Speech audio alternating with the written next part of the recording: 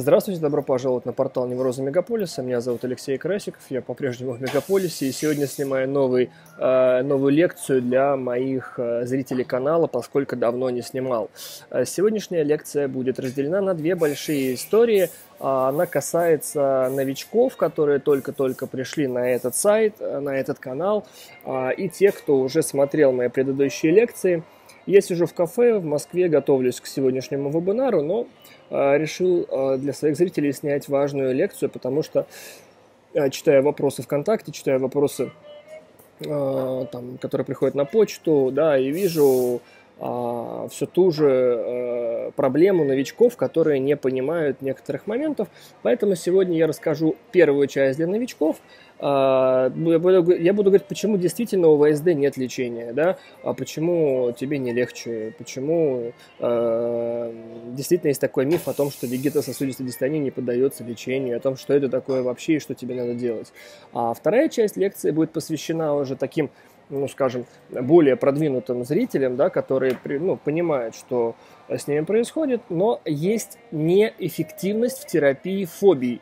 Ну, например, банальная кардиофобия, где человек боится, что у него от чего-то случится инфаркт, он там меряет пульс, давление, а, контролирует тем самым свое сердце, он считает, что он э, может умереть от инфаркта а, при каких-то обстоятельствах, например, при вегетативном напряжении или при страхе. Он ходит ко мне, допустим, ходил, или ходил к моим любым коллегам, неважно кому, а, и он говорит, я делаю упражнения, вроде как я все делаю правильно, и там Ваську слушал, и Петьку слушал, и это, но что-то как-то у меня не отпускает мой страх. Я вроде понимаю рационально, говорит он, что я не умру, обследование пройдено, что нет органического заболевания, но у меня страх все равно. Либо это касается навязчивого состояния, да, я понимаю, что я никого не убью, я понимаю, что я с ума не сойду, я рационально, говорит, у психотерапевтов это как-то, ну, научился понимать, но я все равно как-то вот какая какая-то часть моего мозга все еще сомневается или все еще не верит. Да? Вот если у нас есть пациент с э, такой резистентностью к поведенческим упражнениям, к психотерапии, то есть такая э, вещь, которую я говорил ранее в своем канале, если кто помнит, это функция симптома или назначение, или вторичная выгода. Помните, как мы в начале да, об этом говорили? Вот я сегодня буду говорить о вторичной выгоде симптома тогда, когда она достаточно явная. Как правило, функция симптомов есть всегда э, в неврозах и в невротических проблемах, Э, начиная с кардиофобии, панической атаки там, и так далее, навязчивости определенно, но не у всех пациентов она такая ярко выраженная функция. Ну, пример вам приведу, давайте сразу, чтобы вы это поняли.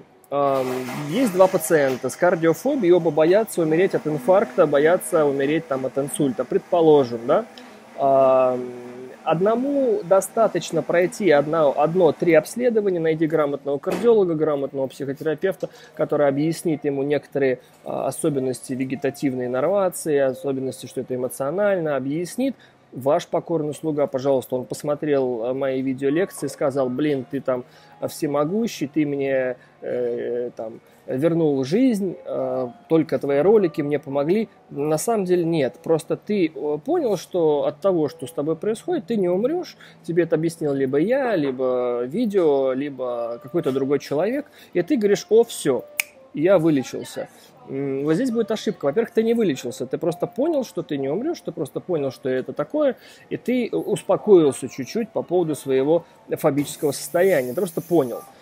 Есть второй пациент, и кардиофобия могла закончиться. Есть второй пациент, который говорит, я все понял, я все делал, я все обследовал, я все знаю, я все понимаю, но черт побери, я все равно верю в то, что я могу а, умереть от м, там, инфаркта или еще там чего-либо, да. А, вот я сегодня буду говорить именно про вот этот момент, почему бывают такие а, резистентности в терапии. Итак, давайте начнем с вегетососудистой дистонии. Почему действительно есть в интернете миф о том, что это неизлечимая болезнь, и порой врачи нам это говорят, да, что это не лечится, что как бы смирись, чувак, да, как бы, и в интернет ты приходишь, и ты видишь тысячи людей, у которых там так или иначе есть эта проблема, и они говорят, да, я пила пустырник, мочу, я пила транквилизаторы, и все это не лечится, это на всю жизнь. И там начинается мифология о том, что ВСД и, двоеточие, погода, ВСД и сосуды, ВСД и левая пятка, ВСД и баня, и жара. И начинаются перемалывать а, обстоятельства, где люди считают, убежденные причем в том, что у них есть какая-то странная а, болезнь, какое-то странное заболевание, а, при котором надо как-то а, себя вести специфически на жаре, потому что ВСД реагирует на жару, или ВСДшник реагирует на жару, или э, перемена погоды, или какие-то нюансы там, климата, или нюансы еды, или нюансы еще что-то. И у них есть такая гипотеза о том, что есть такая каста людей, у которых есть это заболевание, э, у которых теперь, э, много, которым теперь много нельзя. Например, кофе чай, там, да, а, алкоголь, там еще что-то. Я сейчас не говорю о том, что это надо пить, я просто, ну, вам лекцию читаю, да. У них есть такое понятие, что если у тебя ВСД, это вот на всю жизнь, теперь ты, значит, чувак обречен на то, что ты теперь вот аккуратнее передвигайся, носи с собой аптечку, а, давление обязательно мери, да, потому что такая вот, ты попал, короче, да, и ты сидишь в интернете и говоришь, ебицкая сила, блин, я попал, короче, все, пипец, да, это надолго. Вот давайте теперь об этом поговорим. Значит, если то, что я сейчас сказал выше, это вот вы понимаете, о чем я говорю, значит, можете смело смотреть ролик. Если вообще не в курсе, что это такое, выключайте не сбивайте себе голову. Значит, смотрите, а, вегетососудистая дистония – это не зоологическая болезнь, то есть это не грипп, это не язва, такого диагноза не существует. Существует подрубрика «соматоформное вегетативное расстройство». Эта подрубрика в классификации болезней а, находится в разделе «неврозы» где есть подрубрика «Соматоформная вегетативная дисфункция» как проявление невротического состояния. Есть какой-то невроз у человека, сейчас мы об этом поговорим, и э, соматоформная вегетативная дисфункция является подрубрикой, которая просто кодирует в диагнозе о том, что есть вегетативные жалобы либо преимущественно кардиологические жалобы, либо преимущественно желудочно-кишечные жалобы, либо преимущественно там э, другие функции, по, функции, по функциям эти жалобы. Но это не болезнь. Э, нету болезни ВСД, у которой есть определенная терапия. Поэтому если вы где-нибудь, когда-нибудь в какой-то платной клинике найдете терапию ВСД, или вам предложат лекарство, или вам предложат исцеление, это лажа. Объясню почему. В лучшем случае, если это ну, клиника там, серьезная и так далее, и они хотят там, на этом заработать, в самом лучшем случае вам предложат общеукрепляющие препараты, сосудистые препараты. Кому хуже от сосудов, когда их попитают? Да, пожалуйста, любому человеку сейчас сосудистые препараты сделай, ему будет лучше, потому что висцеральное кровообращение улучшится, потому что улучшатся там всякие метаболические процессы в головном мозге, конечно, будет легче. Да любому человеку, неважно, есть он невроз или нет. И вот так людей начинают разводить на бабло. Во-первых, надо сдать кучу анализов, потому что у вас вегета сосудистая, да, значит, потом вам надо пропить это, потом это. Это очень классная а, коммерческая история. То есть, в принципе, я думаю, что половина, наверное, бюджета доходов, да, в клиниках это вот невротики приносят, потому что они бегут обследоваться. Теперь я вам объясняю, что происходит. А, это вегетососудистые симптомы, которые вы испытываете. Жар, холод, тахикардию, головокружение, слабость а, и прочие вегетативные состояния, которые вы знаете уже, а, не являются симптомом какой-то болезни. Они не, это не является симптомом кардиологии, это не является симптомом э, ишемической болезни сосудов головного мозга. Вам кажется, что это симптом, и вы приходите к врачу. Врач, который заточен, например, на кардиологию или на гастроэнтерологию, э, не знает, что у вас невроз. Он вас видит первый раз в жизни. И вы говорите, у меня тахикардия, у меня вот понос, диарея, у меня вот жар, помутнение, и, и врач-интернист да, по профилю пытается в ваших жалобах увидеть какую-то э, свою проблему. И печально в том, что они пытаются иногда натянуть а, хоть что-то, чтобы поставить диагноз. Если э, не натягивается, да, скажем так, ваши жалобы. То есть, ну, грубо говоря, вы пришли к врачу, вам провели обследование сердца, провели обследование легких, провели обследование головы, провели обследование кишечника, желудка, не нашли явных патологий, такие как язва, ишемическая болезнь сердца, серьезная аритмия, а, бронхиальную астму, не нашли изъязвлений, не нашли онкопроцесса, а, и врачу по большому счету диагностировать нечего. И вот здесь начинают врачи ваши симптомы вегетативные пытаться приписать хоть к чему-нибудь. Ну, потому что у любого человека так или иначе можно найти какое-то отклонение от нормы. И они должны этот феномен описать в диагностике, да, и вам кажется, что ваши симптомы связаны с каким-то там блокадой левой ножки пучка ГИСа, экстрасистолами, еще чему-то, да, там, или еще чем-то, и, и вы уверены в том, что э, у вас есть некая ВСД, которая связана с телом. И, потому что врачи не могут вам объяснить, что это не так.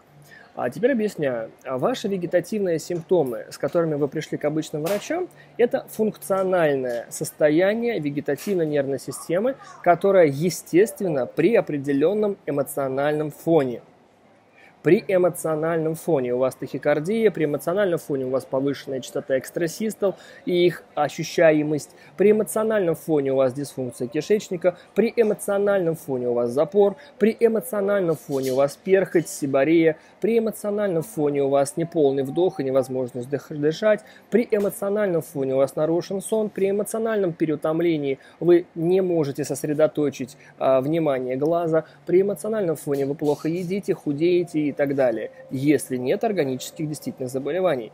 И то, что вы э, испытываете вегетативно, является не болезнью, является совокупностью симптомов эмоционального проявления. Вот это первое, что ты должен понять. Второе. Вегетативное проявление эмоционального состояния связано с четким э, важным моментом. Это не что-то случилось с сосудами, и это не что-то случилось с сердцем и с кишечником, и когда-то тебя накрыло, и ты заболел. А когда у тебя начались вегетативные проявления, если ты вспомнишь, когда это а, начиналось, ты вспомнишь о том, что э, незадолго до этого у тебя были достаточно либо ярко выраженные стрессовые ситуации в отношении с окружающим миром или с самим собой, либо ты не придавал значения определенным обстоятельствам. Ну, ты не могла принять решение с парнем, или ты не могла принять решение с институтом, на тебя давили родители, ты чувствовал несвободу, ты не могла принимать решения, тебе было всегда тяжело общаться с людьми, много всяких факторов, но ты не придавал им значения, что они на тебя оказывают очень сильное внутреннее психологическое давление. И в какой-то момент происходит ситуация, которая является последней каплей. Например, это может быть сессия, это может быть э, ссора с парнем, это может быть напряженные отношения на работе, это могут быть какие-то обстоятельства твоей жизни, которым ты явное значение, вот такое травматическое, мог, мог бы и не придавать. Но на самом деле а твоя психика этому значение придала и не маленькое. И в какой-то момент у тебя те эмоции, которые ты мог подавлять в себе, просто начали проявляться вот так телесно. И вот тут возникает третий тезис, слушай меня внимательно. Когда они начинают проявляться вот так вот телесно в виде тахикардии, нехватки воздуха, головокружения, слабости – это проявляется как бы не по адресу. Ты едешь на работу, или ты сидишь дома, или ты идешь на улицу, или ты в магазине, или ты там на работе, и вдруг, откуда ни возьмись, начинается вот эта вегетативная свистопляска.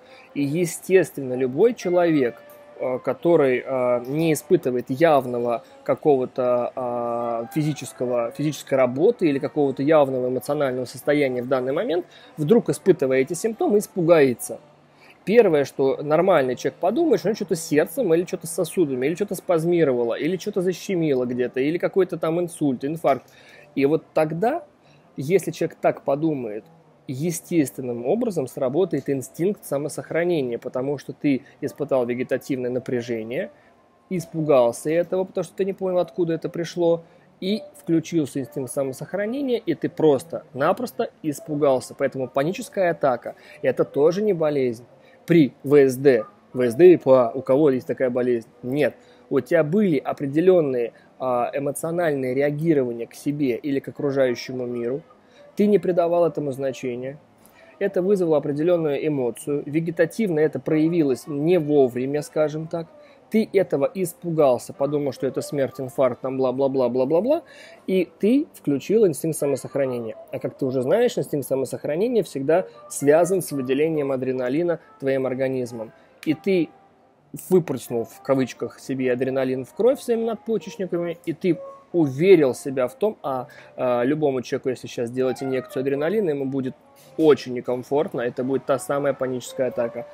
И ты подумал, что у тебя есть какой-то приступ, и тебя очень сильно накрыло, и ты чуть-чуть не умер. Хотя на самом деле правда заключается в том, что ты просто очень испугался сильно и почувствовал настоящее действие инъекции адреналина в кровь. Это не опасно, это не смертельно, никто от этого не умер, поэтому тебя не госпитализируют, поэтому тебе особо ничего не назначают, потому что ты просто пугаешься. От испуга никто не умирал, адреналин колет в реанимации, адреналин колет в стоматологии, чтобы помочь там организму и так далее. Нет в этом ничего ужасного. Об этом в предыдущих роликах обязательно посмотри в полном объеме. Сейчас я не буду об этом говорить, хорошо? А, посмотри на канале YouTube ролик «Все, что тебе надо знать о панической атаке ВСД». Он такой с, с логотипом с моим на белом фоне, там написано Алексей Красиков и так далее. Два с половиной часа идет ролик. А, если тебе нужно детально а, практику о том, что, как работать с паникой и агорафобией, это вот тот ролик обязательно посмотри. Так вот, понял, в чем проблема? Нету лечения ВСД. ВСД – это не болезнь сосудов, это не болезнь сердца, это не болезнь органов. Это эмоциональная компонента, где ты реагируешь на себя или на окружающий мир слишком эмоционально – ты можешь этого особо и не понимать сейчас. Но если ты бы работал со мной или с моим коллегой, мы бы тебе прекрасно показали, как ты эмоционально реагировал на те ситуации, которые, после которых у тебя все началось, и продолжаешь реагировать так. Но сейчас ты считаешь, что у тебя болезнь, поэтому ты говоришь, главная моя проблема – это ВСД, от которой нет лечения. Чушь полнейшая. У тебя просто случилось так, что ты когда-то испугался – своего вегетативного эмоционального состояния и не придаешь значению а, тому, что тебя окружает. Ты не придаешь этому значения. Ты не придаешь значения, как ты смотришь на окружающих людей, потому что тебе уже не до этого. Ты уже весь в своих сердцах, в своих сосудах, там, форумах и так далее. Поэтому, а, подводя итог этого момента, нету лечения ВСД. И искать его не надо и бессмысленно никак не связана э, вегетативная дисфункция с погодой, с тем, что ты ешь и так далее. Это никак не связано. У тебя есть эмоциональная компонента, которая... Э, давай так, у тебя есть эмоции. Сейчас у тебя эмоции страха за свою жизнь, за свое здоровье. Это понятно. Если мы сейчас это подвинем, то правда заключается так. Ты жил когда-то, было все хорошо и что-то произошло в твоей жизни, где ты слишком эмоционально к этому отнесся, что-то ты не мог принять, чему-то ты не мог допустить, что-то к чему-то отнесся слишком гипертрофированно, важно эмоционально. И это вызвало всплеск эмоций вегетативной нервной системы. Ты этого испугался и ошибочно считаешь теперь себя больным. И вот если ты перестанешь считать себя больным, искать терапию ВСД, а займешься а, следующим – начнешь смотреть со своим а, психотерапевтом на то, как ты а, оцениваешь себя и как ты оцениваешь обстоятельства вокруг. Работу, деньги, личную жизнь, мужа, жену, а, успех, карьеру, бла-бла-бла-бла-бла-бла. И вот ты увидишь, что у тебя на самом деле есть куча обстоятельств, в которых ты неэффективен, которых ты недоволен, в которых ты не можешь принять решение, в которых ты считаешь себя лошарой, где ты стесняешься, где ты молчишь, где ты э, не можешь как-то себя проявить. Вот именно эти обстоятельства и вызывают у тебя вегетативное состояние, которое ты по ошибке считаешь болезнью. И пока ты не изменишь свое отношение к реальным обстоятельствам. И не изменишь эти обстоятельства, например, не примешь решение с учебы, не примешь решение с работы, не примешь решение с мужем, женой, а не примешь решение по э, личной жизни, по карьере, по не научишься социальной перцепции, не научишься социальным навыкам, коммуникации, не преодолеешь социофобию, не преодолеешь страх быть плохим, не преодолеешь страх, а что будет если, там огромное количество пластов, которые мы поднимаем в нашей терапии. И вот когда у тебя получится к этим всем вещам отнестись более объективно, спланированно, рационально, ты опустишь градус своих эмоций, и твое вегетативное состояние остановится, и все у тебя будет прекрасно. Понял, в чем ошибка? Великолепно. Поэтому не ищи, пожалуйста, лекарства от ВСД, его быть не может. Твой путь лежит в кабинет психолога или психотерапевта, желательно когнитивно-поведенческого направления, который поможет тебе увидеть, как ты эмоционально реагировал на ситуации, с которых все началось, и продолжаешь эмоционально реагировать на то, что происходит вокруг. А, то, что ты сейчас боишься своих симптомов, это понятно, но здесь а, а, на первых этапах тебе психотерапевт поможет. И посмотри ролик «Все, что вам надо знать о панической атаке и ВСД». Он есть на канале YouTube чуть э, ранее. Вот, поэтому огромное количество людей э, в интернете пытаются найти лекарство от того, чего просто никогда не существовало.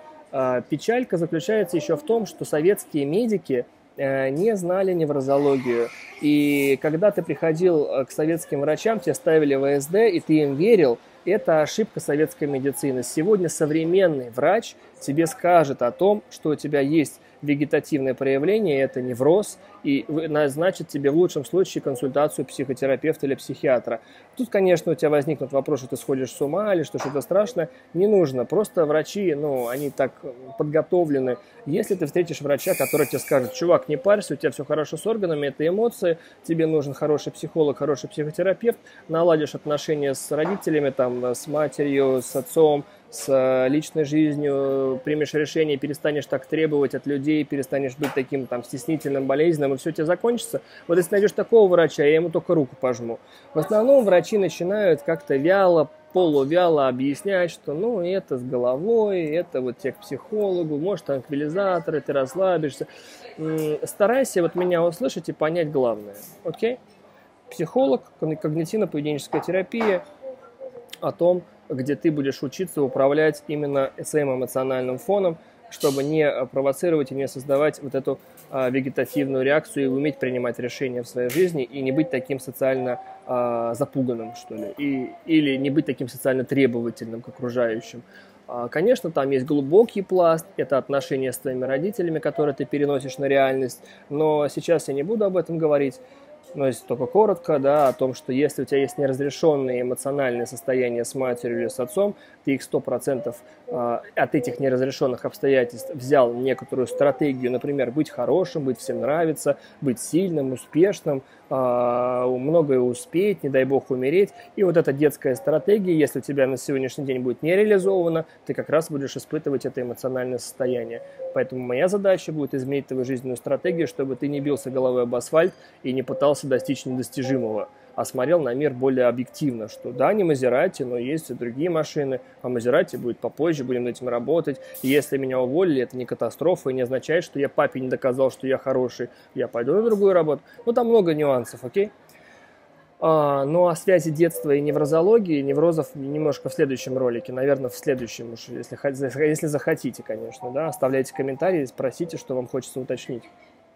А, а теперь самое последнее – это вторичное назначение симптома для тех, кто уже э, понял о том, что я говорил ранее.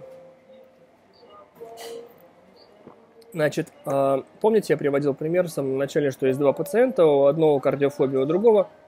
Одному обследование кардиолога и рациональная терапия помогла понять, что сердце у него все в порядке, он побежал дальше, все у него хорошо а вот другой делает упражнения, ходит, что-то, но что-то как-то он не верит в то, что у него с сердцем может быть что-то не так. И вот тогда мы выдвигаем гипотезу о том, что у этого пациента особо значимая задача удерживать фобическое состояние. Объясню, как это выглядит. Это называется вторичная функция симптома, вторичная выгода или функция симптома, как я это называю, функция.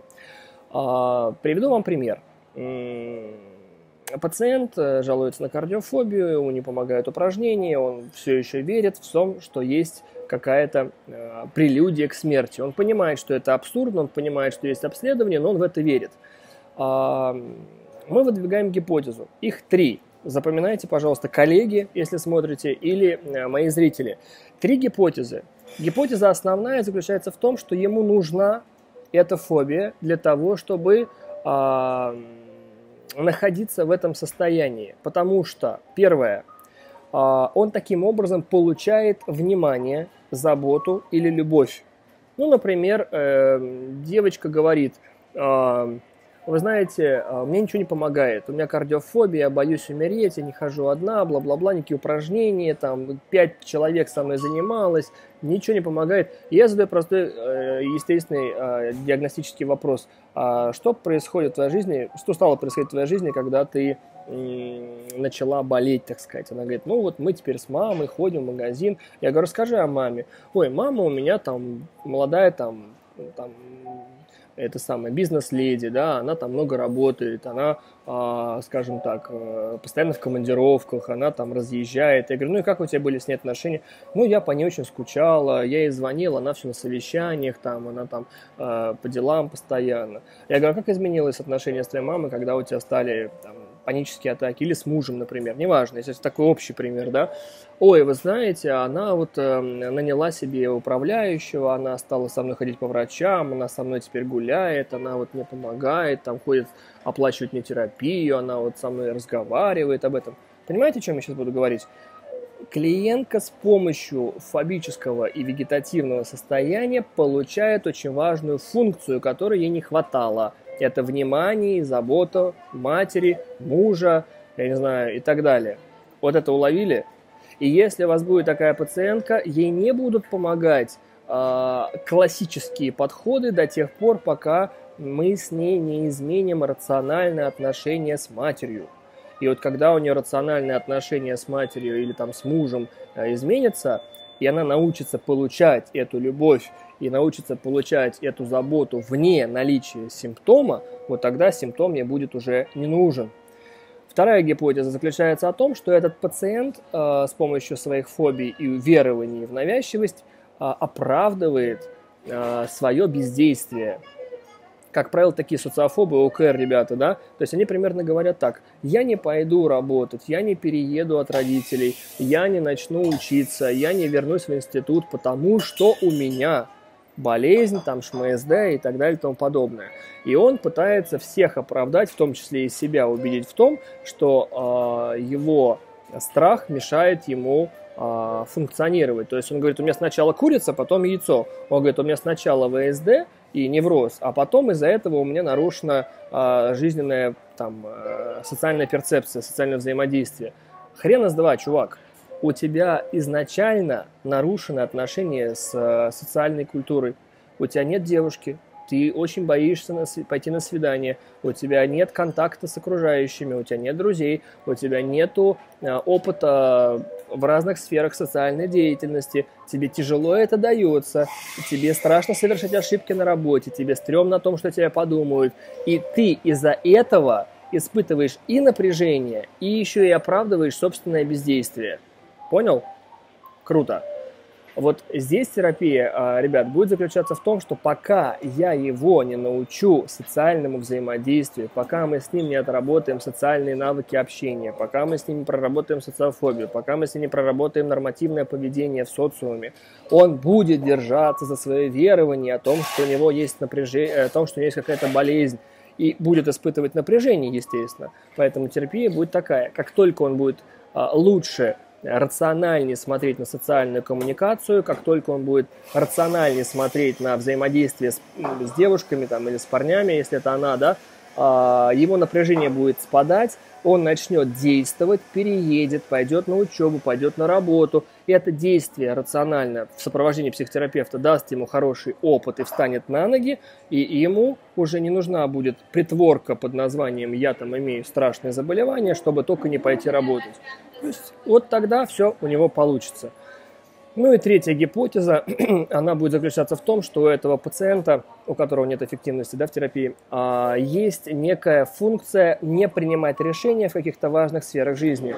Ну, например, она верит в то, что у нее кардиофобия, она верит, что она все-таки умрет, потому что у нее есть проблема с мужем, где она не может принять решение о разводе, потому что она нерационально смотрит на ситуацию, а что будет, если я уйду, а как я с ним поговорю, я не могу с ним поговорить, она не понимает, а, либо парень не может принять решение уволиться, не уволиться, либо он не может принять решение в каких-то сферах жизни, либо девушка не может принять какие-то решения, они затянулись, а, решение уже ну, срок подходит, да, а, навалились какие-то вещи, где надо принимать решения тяжело. То есть, проще говоря, третья гипотеза нам говорит о том, что есть какие-то обстоятельства, где человек не может принять решение, потому что он смотрит не очень рационально на последствия.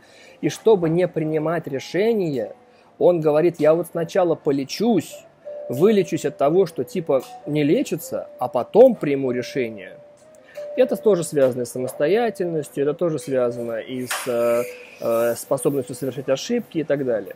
Итак, первое – это требование внимания, требование любви. Второе – это, э, это оправдывание собственного бездействия, э, потому что есть социальный страх и отсутствие опыта, и отсутствие принятия ошибок. И третье – это, э, это оправдывание непринятия решения – то есть задержка от принятия решения, где человек уходит в фобию для того, чтобы э, говорить самому себе, что я потом, потом приму решение, сейчас сначала выздоровлю. И вот э, поверьте, в моей практике, да, я работаю 6 дней в неделю, по 80 человек в неделю у меня, как в группе, так и в личной терапии. Э, в каждом третьем случае э, есть ярко выраженная функция симптомов, о которой я вам сейчас рассказал. Я надеюсь, что сегодняшняя лекция была для вас, коллеги и зрители, интересной. Итак, я подытожу. Нет никакой ВСД как болезни. Это синдромокомплекс, где вы просто испытываете эмоциональное состояние и лечиться от этого бесполезно. Вы должны работать над тем, как эмоционально вы реагируете на то, что происходит. Ну, это первое, не буду повторять, если честно, устал я про это говорить.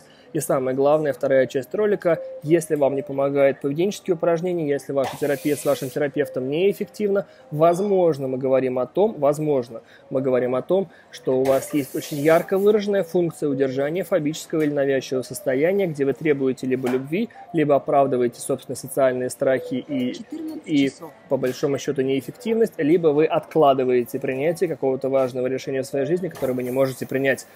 Спасибо, пошел пить кофе, готовиться к сегодняшнему вебинару.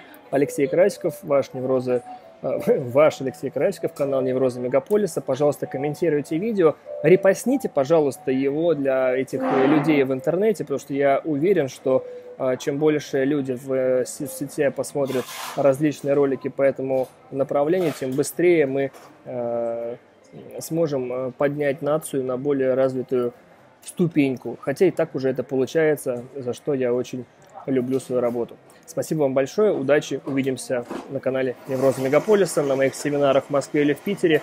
А, следите за новостями, хотите познакомиться со мной лично, пожалуйста, заходите в контакт. Я провожу семинары в Москве и в Петербурге, и в любом городе. Если захотите, я приеду. А, можно поговорить по скайпу, можно поговорить лично в кабинете э, в центре. Я провожу группы по скайпу дистанционно, не обязательно лететь в Москву для этого. В общем, следите за новостями, там все это будет написано. Подписывайтесь на сайт Без Невроза ТВ на рассылку новостей. Подписывайтесь на мой инстаграм, если хотите посмотреть за моей жизнью. Подписывайтесь на контакты, на YouTube и, и так далее. В общем, ваш Алексей. До встречи, пока. Спасибо.